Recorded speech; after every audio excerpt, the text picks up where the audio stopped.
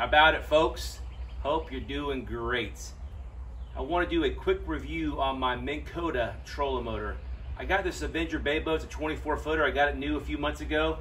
And uh, one decision when you get a new boat is what trolling motor to put on it. It's a big deal. Should I get a 36 volt, um, 24 volt, 60 inch shaft, 72 inch shaft?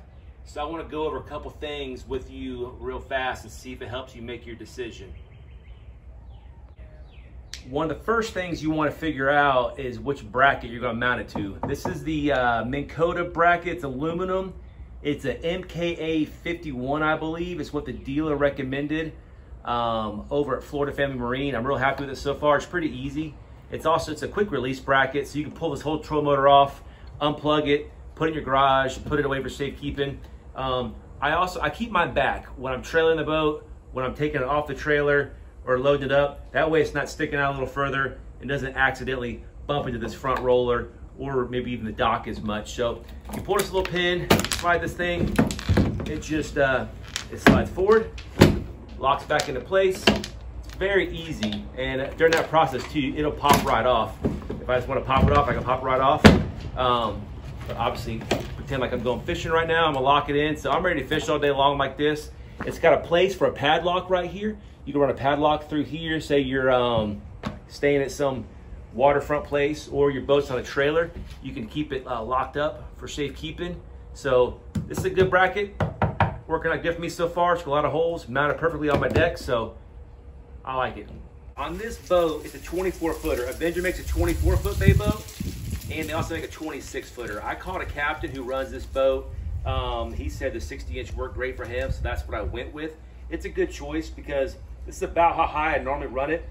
So a lot of times I'm I'm flipping under mangroves or I'm skip casting, and this this is not in the way. If I would have got the 72 inch, it would have been up here a lot higher, and it would have been in the way everywhere I wanted to fish. This thing. So one pro to a 60 inch shaft is you can raise it up so you can fish shallow and not have it in the way all the time. The con is if you are in rough water offshore, say you're tarpon fishing by a bridge or you're throwing your cast net with the markers in Tampa Bay, if you get a couple guys in the back, both live wells going, the front's gonna wanna bounce a little bit, so you're gonna get a little cavitation from time to time. So depend on your style of fishing. The 60 inch works good um, for both things for me, but if you're fishing in very rough water, you are going to have a problem with this thing coming out and losing a little grip from time to time.